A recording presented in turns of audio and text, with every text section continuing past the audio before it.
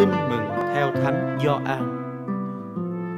Khi ấy, Đức Giêsu nói với ông Nicodemo rằng: Thiên Chúa yêu thế gian đến nỗi đã ban con một để ai tin vào con của người thì khỏi phải chết nhưng được sống muôn đời.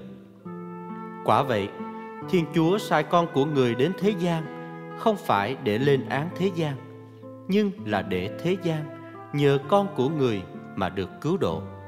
Ai tin vào con của người thì không bị lên án, nhưng kẻ không tin thì bị lên án rồi, vì đã không tin vào danh của con một Thiên Chúa.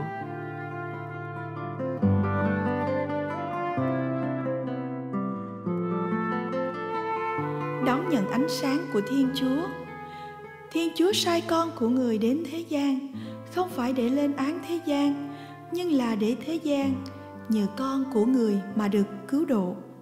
Trong thông điệp ánh sáng đức tin, Đức Francisco cho thấy đặc điểm của ánh sáng có khả năng chiếu rọi toàn bộ cuộc sống của chúng ta, giúp chúng ta phân biệt được thiện ác.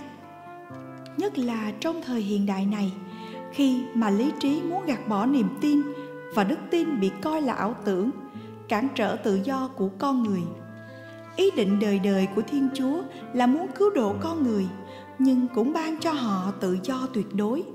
Con người đã tự xét xử chính mình bằng cách chọn lựa hay khước từ ánh sáng sự sống.